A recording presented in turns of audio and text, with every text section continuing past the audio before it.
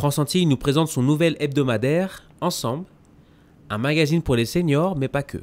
Il y a de plus en plus de seniors euh, en Guadeloupe comme en France, comme dans le monde. Donc il y a, un besoin, effectivement, il y a un besoin d'accompagner ces seniors dans une nouvelle vie après la vie euh, professionnelle. On peut très bien continuer, euh, travailler pour une ONG, on peut travailler pour, on peut visiter les, lycéens, les collégiens, les enfants des écoles primaires, on peut faire de la téléassistance comme Madame Tarrer, qui est une des personnes dont on parle à l'intérieur de ce magazine puis des Guadeloupéens et des Guadeloupéennes qui ont plein de choses à dire et qui, parce qu'ils ont euh, encore la pêche euh, à 70-80 ans, peuvent euh, nous apprendre beaucoup de choses. Ensemble est à retrouver tous les vendredis chez votre marchand de journaux.